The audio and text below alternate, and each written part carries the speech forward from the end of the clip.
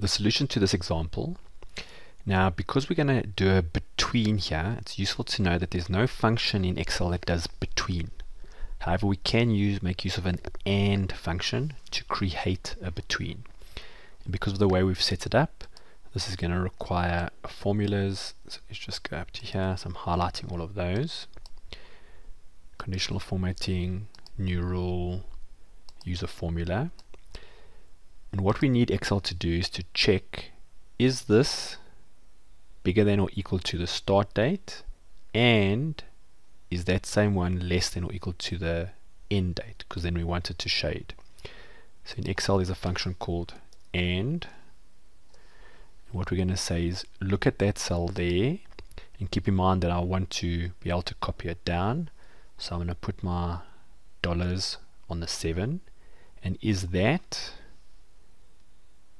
either bigger than or equal to whatever you see in here.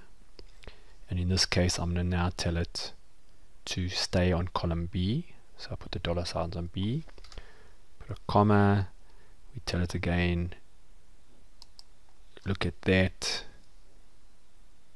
on a 7 is it less than or equal to whatever you see in the second one put the dollars on C. So hopefully that will do it.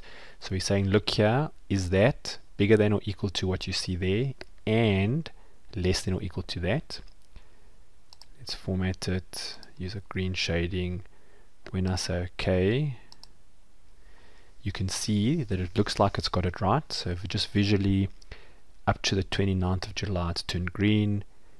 Here when we're in August it's no longer doing the land component so that's the first component we've added. We're now going to add the bulk. As mentioned I cannot now have another color because a cell can either be one or other color. It can't be both. So when I highlight this we're pretty much going to do the same thing. It's going to be a new rule. We're going to use a formula. We're going to use an AND formula. We're going to say look there. Dollar signs only on the rows. Is it bigger than or equal to now it must be the bulk. And put the dollar sign so it's on the D comma dollar signs on the 7 is it less than or equal to whatever we see there? Dollar signs on the E.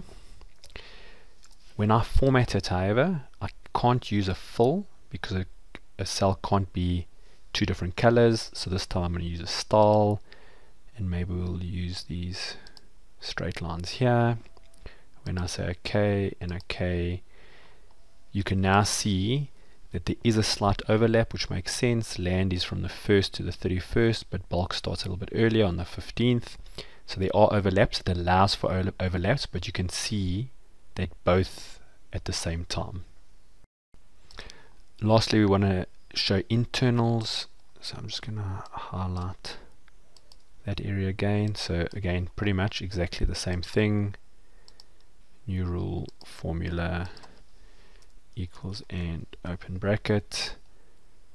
Look at that but only look at row 7 is it bigger than and equal to what we see here? But only look at column F comma look at that row 7 less than or equal to what's in there column G. And when I format it so now I've done a full I've done a pattern. So now we can go to the border and maybe what I'll do is I'm going to have a red border. So I'm going to set it up that when we're in those dates the border turns red. And you'll see it's now showing those items and you can see the internals. 1st of August to 30th of September. So all of those up to the 30th of September benefit of this now is if whatever reason someone accidentally types 5th of July in here the colors will change and perhaps you'll know that it's impossible to do that before you've done the other step. So you can now use it and have some overlaps